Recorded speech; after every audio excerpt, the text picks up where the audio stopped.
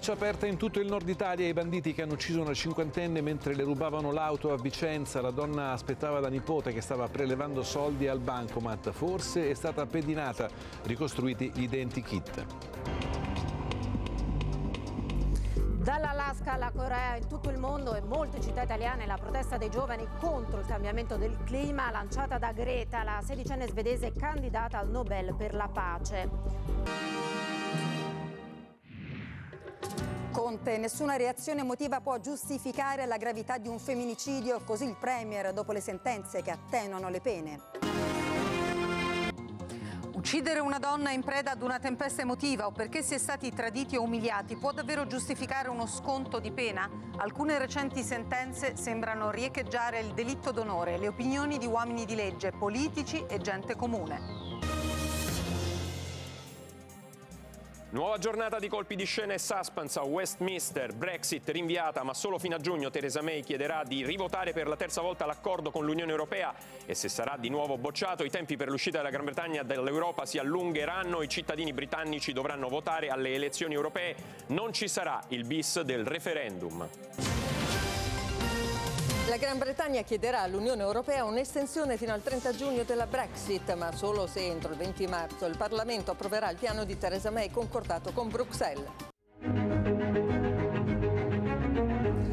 Eccoci qui, avete visto nell'apertura dei telegiornali alcuni dei temi di cui parleremo oggi e che stasera vogliamo affrontare in una chiave di lettura particolare, quella del marketing, una disciplina nata in ambito commerciale ma che ormai esonda in quasi tutti gli altri ambiti, la politica, la, la comunicazione, forse addirittura anche le relazioni personali, al punto da indurci a chiederci se stiamo diventando tutti merci o tutti marchi. Per esempio, chissà se non sia già diventato diventata eh, magari contro la sua stessa volontà un marchio Greta, questa ragazzina di 16 anni diventata il simbolo della lotta al cambiamento climatico. Di questi temi parleremo questa sera con Francesco Giorgino che di comunicazione se ne intende, ne scrive, la insegna, direi quasi che la incarna. Benvenuto Francesco. Grazie, grazie per l'invito e buonasera. Allora, prima di affrontare appunto i nodi tra comunicazione e marketing applicati alla politica a sempre più ampie sfere, eh, le notizie che abbiamo visto in apertura, non ti chiedo quale apertura fosse la tua preferita perché sei in conflitto Ovviamente di interessi. Ovviamente quella del TG1 dovrei rispondere, insomma. Sì, però... conflitto di interessi patente. Beh però, sì, evidente, sì. Ecco, sì. Quale, su quale tema ti soffermeresti, quale segnaleresti e perché? Beh, intanto dal punto di vista sociale eh, ci sono oggi delle aperture che sono molto molto importanti perché sia eh, TG1 eh, che TG5 che eh, TG3 e TG La 7 si sono occupati di questioni che hanno un forte impatto sulla vita dei cittadini.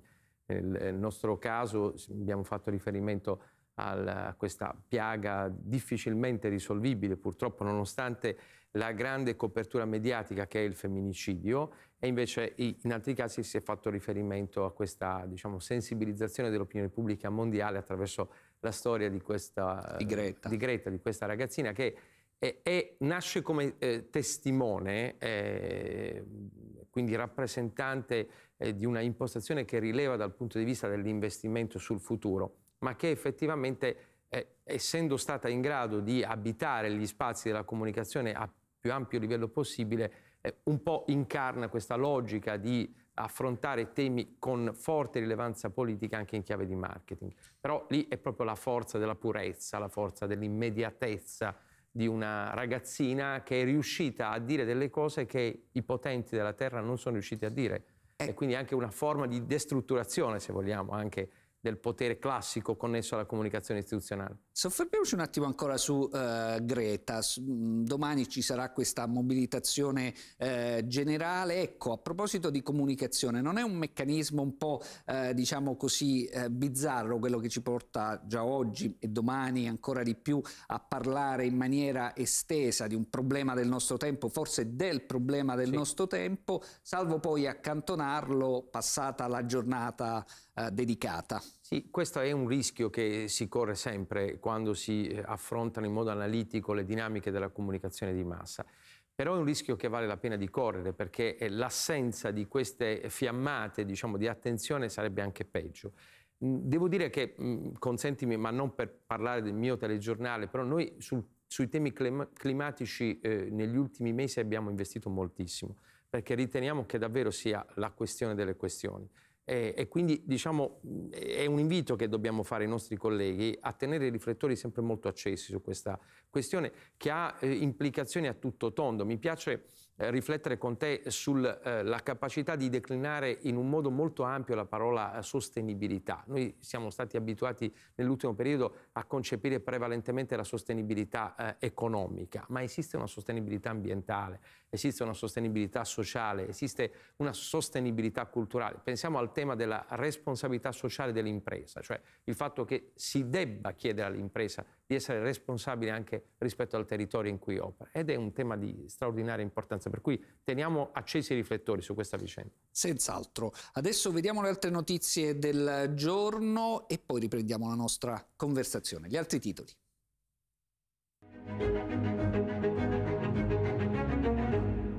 16 anni e 8 mesi di carcere per l'untore di Ancona, l'ex trasportatore 35enne è stato condannato per lesioni gravissime e omicidio volontario. Aveva consapevolmente contagiato la compagna morta di AIDS nel 2017, ma le sue vittime potrebbero essere più di 200. Parcheggio in doppia fila, automobilisti a processo, pugno duro della Procura di Roma contro i furbetti della sosta. In tribunale sono già finiti 10 indisciplinati. Il reato contestato è interruzione di pubblico servizio. Mussolini, a parte Matteotti e fino alle leggi razziali, fece anche cose buone. Bufera sulle parole di Tajani, l'Europarlamento frasi indegne, il Presidente chiede scusa. Revenge porn, la madre di Tiziana Cantone al TG1, fermate l'agonia sul web, ha portato al suicidio mia figlia. Quattro proposte in Parlamento.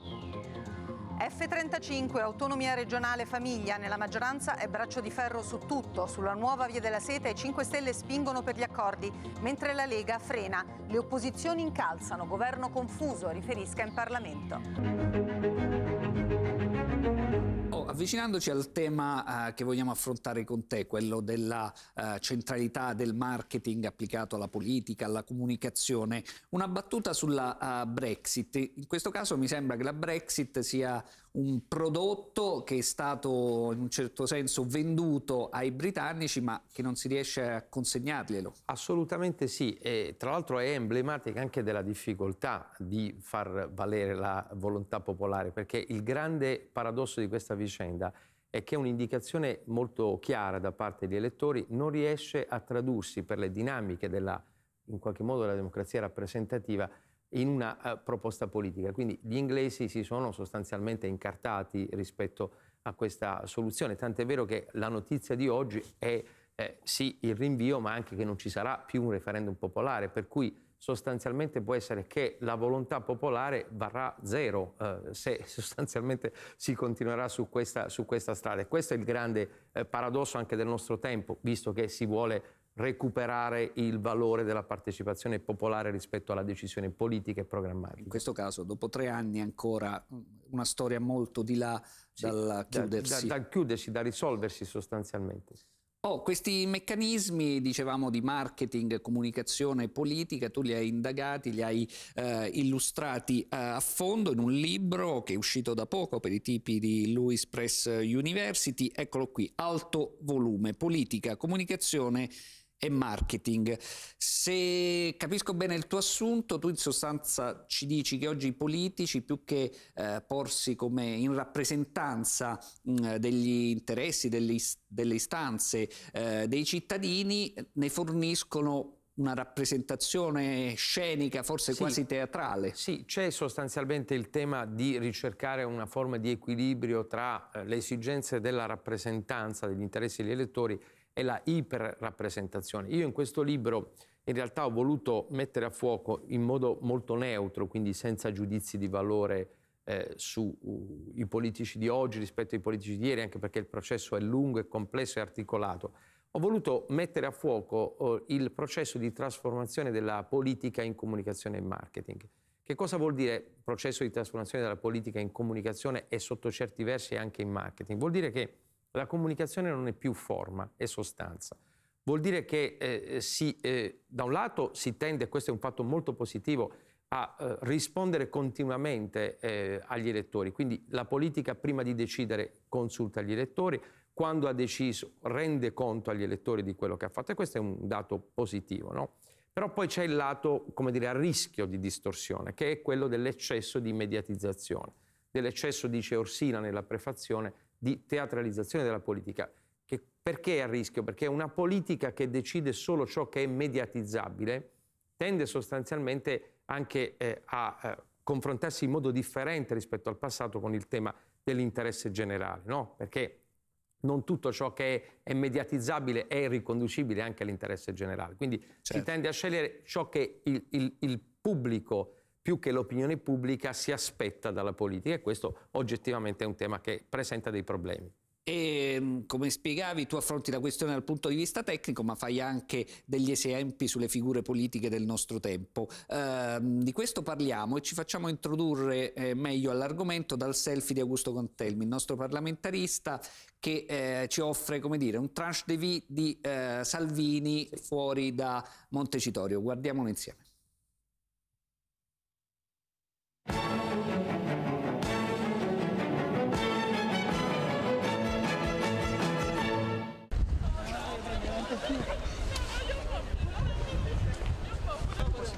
Cosa hai paura? Dai, forza!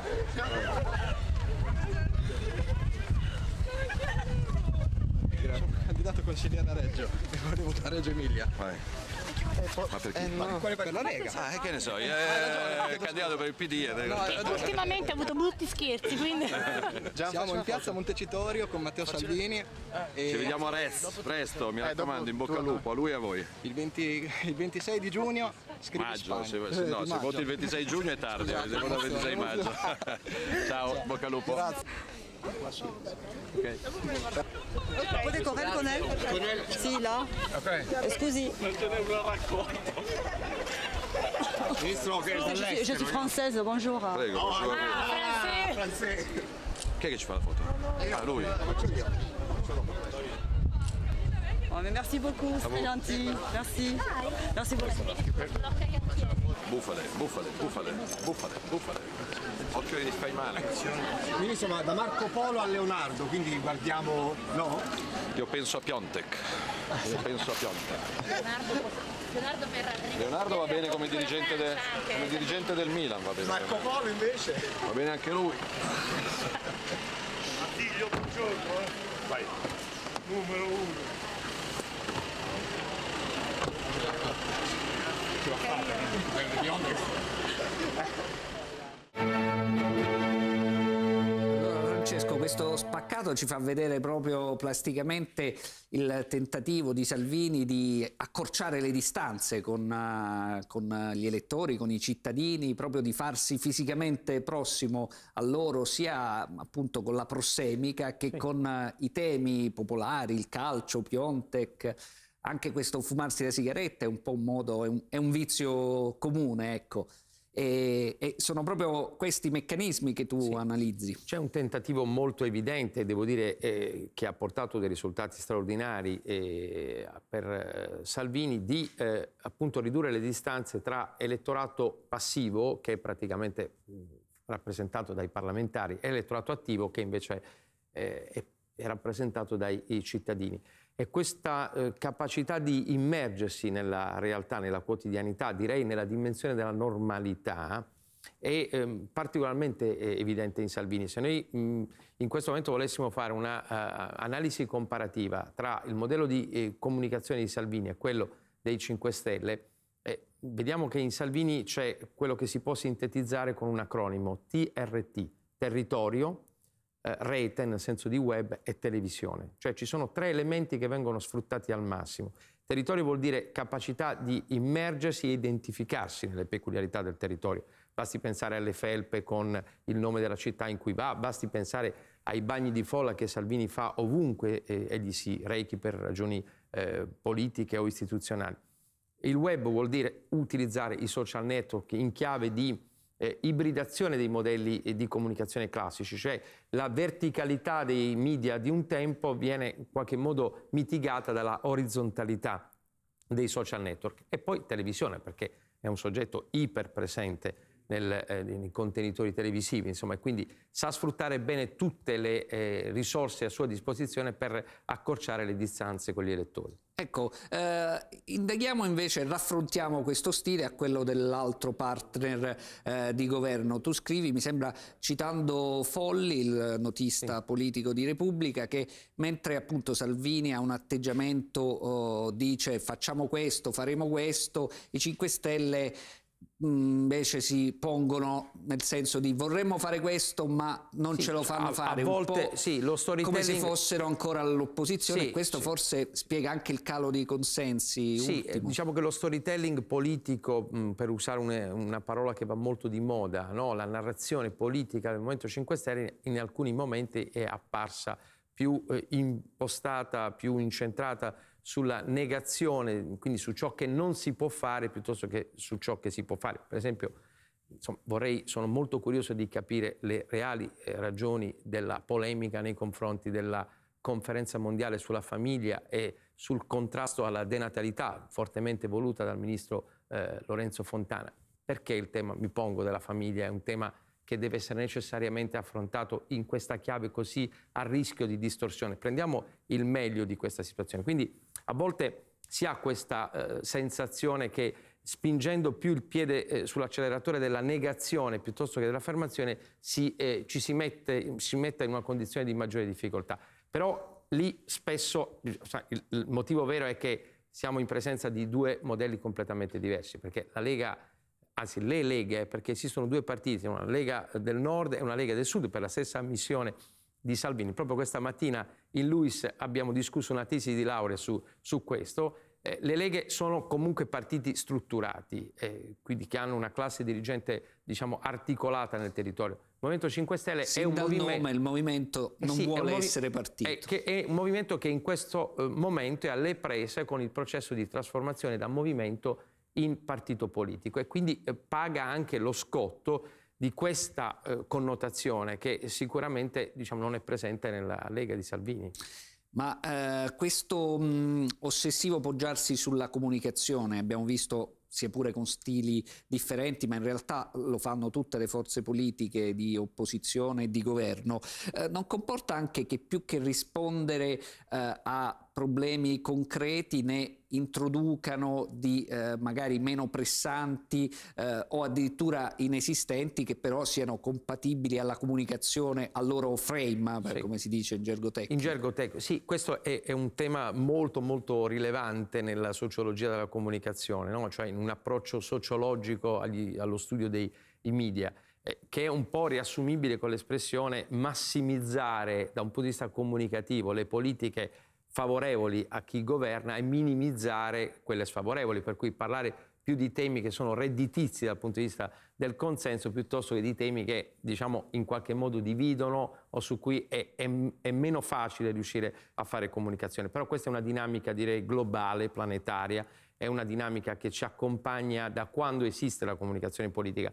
Io nel libro che tu gentilmente hai, hai citato, hai fatto vedere ai vostri telespettatori affronto prima in modo verticale poi in modo orizzontale i diversi modelli di comunicazione. Sono partito da Berlusconi che è stato il, il soggetto che ha introdotto in Italia la comunicazione politica come paradigma e poi sono arrivato sostanzialmente a Renzi, che è un altro soggetto che in quanto a uso della comunicazione e del marketing no, non ha scherzato, eh, perché insomma è stato certo. un soggetto fortemente incline all'uso di questi, di questi registri per poi arrivare a Salvini e Di Maio. Quindi dobbiamo fare un'operazione per così dire, diacronica, temporale, quindi ricostruire le vicende degli ultimi vent'anni quantomeno per capire il valore della comunicazione in politica, ma dobbiamo estendere lo sguardo anche eh, oltreoceano perché questo è un processo che viene dagli Stati Uniti e devo dire, a dispetto di quello che si pensa, il primo non è stato eh, Trump, perché Obama ha cominciato a disintermediare e a sviluppare forme di comunicazione diretta utilizzando i social network, nello specifico Twitter.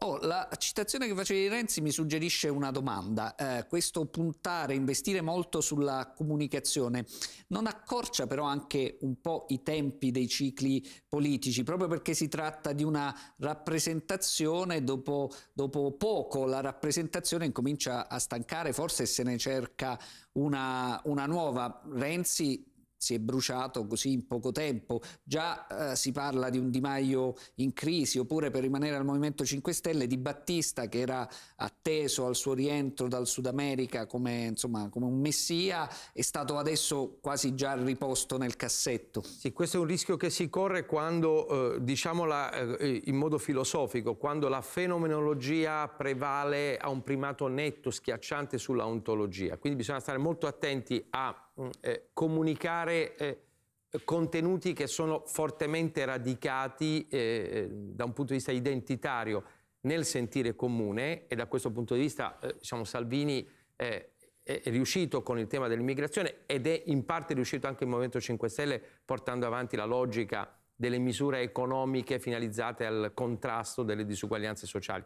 Quando si arriva su temi che sono diciamo, più consumabili dentro mh, frazioni temporali più ristrette, il rischio che tu dici è molto forte.